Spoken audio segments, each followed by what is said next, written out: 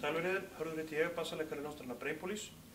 Ég ætla að segja ykkur aðeins frá bassanum mínum, nýja, sem er Spector NS4 USA, smíðar í Woodstock í New York, uh, úr afskaplega exotískum við og alveg óbúslega fallegur.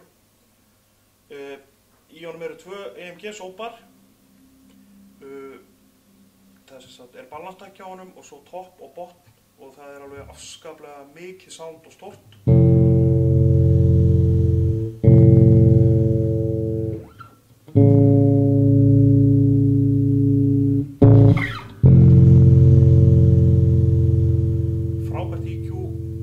Alveg niður í sko lo-fi og alveg upp í alveg störlaða botn. Og þetta er bara eitt svo besti sem ég hef eignast. Tjekkja á henni